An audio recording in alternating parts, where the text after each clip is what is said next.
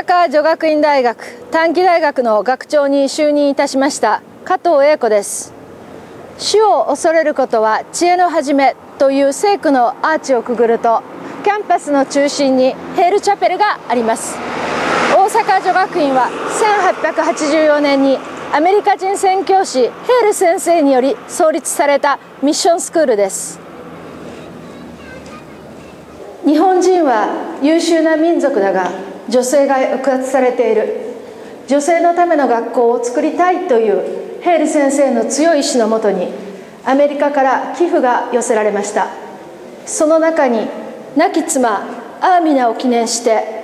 多額の寄付を寄せたウィリアムさんという方がおられました。ウィリアムとアーミナを結合しウィルミナという学校が創立されました。戦時中英語の学校名が禁止され大阪女学院という名前に変更されました。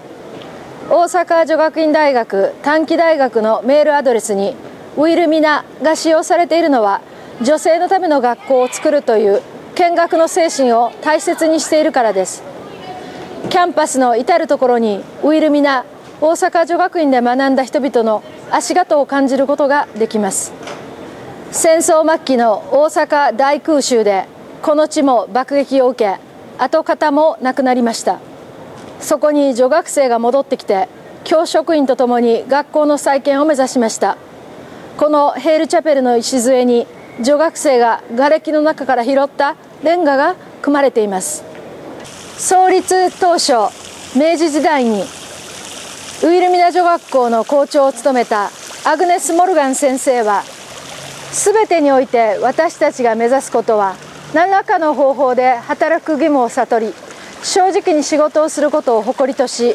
日常生活の雑事を超えて物事を見抜く力のある人間を形成することですという言葉を女学生に送っています。時代が流れ女性も多くの社会参画の機会を得るようになりましたがこの理念は今の大阪女学院大学短期大学にも受け継がれている精神です。一人一人の学生がどのように社会と関わることができるのかそのために自分は何を学ぶべきなのか何が大切なのかを判断できる女性になってほしいと日々学生と向き合っています。